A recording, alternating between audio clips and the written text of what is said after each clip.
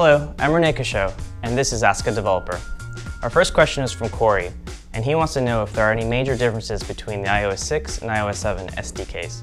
Hey Corey, there are many differences between the iOS 6 and iOS 7 SDKs. Apple essentially rewrote most of the UIKit framework to adopt their new design principles of depth and clarity. They did this because they wanted a fresh new look for iOS. Also, Apple released Xcode 5, which includes stability improvements, new, new unit testing features, and a brand new interface builder, allowing you to do auto layout in a much more robust way. Our next question is from Finch, and Finch wants to know how difficult it is to integrate website login credentials into your app. Hey Finch, it's actually quite difficult. If, if you have your own website with your own user account system, then you're going to have to use standards like OAuth 2 to integrate login into your app, and you're basically left to roll your own. The best solution is to use something like Google Plus or Facebook, which provide SDKs that you can just bundle into your app and get started quickly. And that's it for this Ask a Developer. If you have any more questions, tweet them to hashtag AskADev.